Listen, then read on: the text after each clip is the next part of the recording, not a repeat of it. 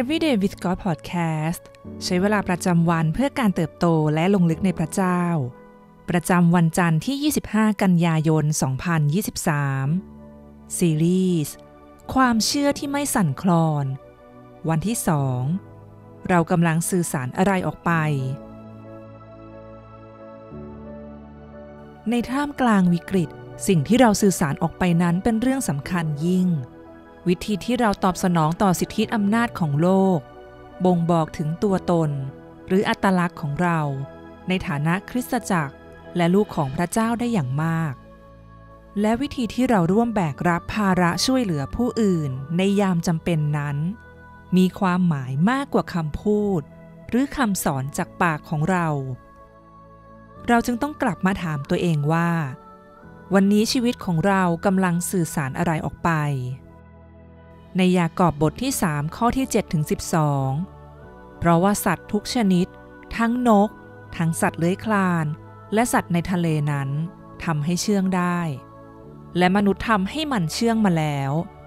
แต่ลิ้นนั้นไม่มีมนุษย์คนไหนสามารถทำให้เชื่องได้ ลิ้นเป็นสิ่งที่ชั่วร้ายที่อยู่ไม่สุข และเต็มไปด้วยพิษร้ายถึงตาย เราสรรเสริญองค์พระผู้เป็นเจ้า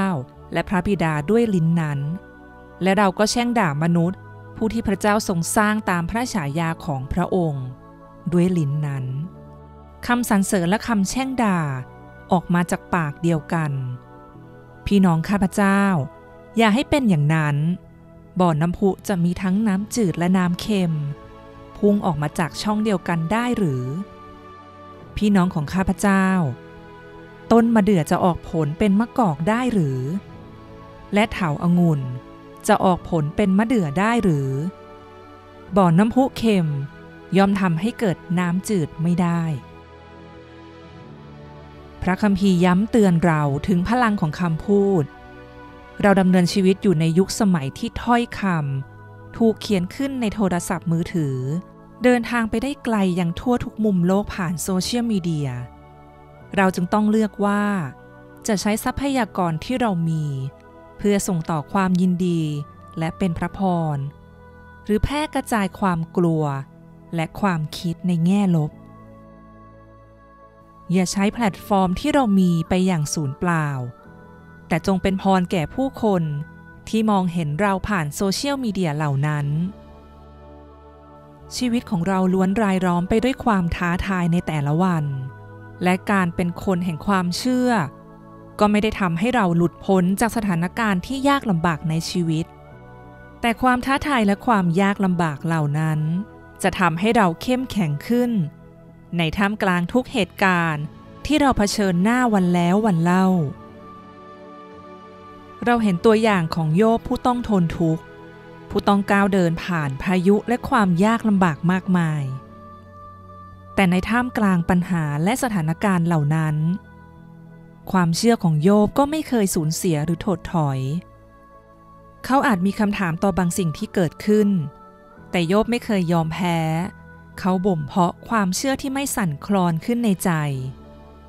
และความเชื่อนี้เองที่ทำให้ดวงตาของโยบ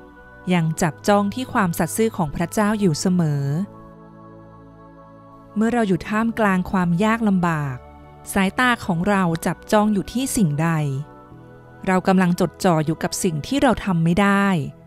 หรือสิ่งที่พระเจ้าทรงทำได้ ในโยบบทที่หนึ่งข้อที่ 21ถึง22 ท่านว่า ข้ามาจากครันมารดาตัวเปล่า และข้าจะกลับไปตัวเปล่า พระยาเวประทานและพระยาเวทรงเอาไปเสีย สาธุการแด่พระนามพระยาเว ในเหตุการณ์นี้ทั้งสิ้นโยบไม่ได้ทำบาป หรือกล่าวโทษพระเจ้า พระคัมภีร์บอกเราว่าในเหตุการณ์ทั้งสิ้นนี้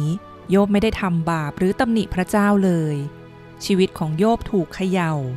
แต่ความเชื่อของเขายังมั่นคงไม่หวั่นไหว ดวงตาของเขายังจับจ้องที่พระเจ้าตลอดทุกช่วงเวลา แห่งการทดลองและความยากลำบาก แล้วเราล่ะ ในวันนี้เราจะประกาศต่อสถานการณ์เบื้องหน้าชีวิตของเราอย่างไรบ้าง ขอให้ดวงตาของเรามองเห็นความเป็นไปได้ของพระเจ้า ในท่ามกลางความยากลำบาก และขอให้ริมฝีปากของเรา ยังเป่าประกาศความดีของพระองค์ต่อไปเสมอ แม้ในที่มืดมิดที่สุด สิ่งที่ต้องใคร่ควรในวันนี้ เราได้ใช้โซเชียลมีเดียที่มี พื่อเป็นพรแก่ผู้คนมากน้อยแค่ไหน มีอะไรที่เราทำได้บ้าง เพื่อใช้ช่องทางเหล่านั้นเป็นเครื่องมือในการส่งต่อพระพร และข่าวดีของพระเยซูคริสต์ให้เราอธิษฐานด้วยกันค่ะ พระเจ้าที่รัก เราขอบคุณพระองค์ผู้ทรงอยู่กับเราเสมอในทุกช่วงเวลา เราสรรเสริญพระองค์ ผู้ทรงยิ่งใหญ่และแสนดีเสมอ ขอทรงช่วยเรา ให้ได้จับจ้องที่พระพักของพระองค์ มากกว่าปัญหาที่เบื้องหน้า ขอทรงช่วยให้เราใช้ทุกสื่อที่มี ทุกช่องทางที่มีอย่างคุ้มค่า ให้เราเป็นคนที่ส่งต่อพระพร และการหนุนใจ ไม่ใช่ความคิดแง่ลบและคำแช่งด่า เราอธิษฐานในพระนามพระเยซู เอเมน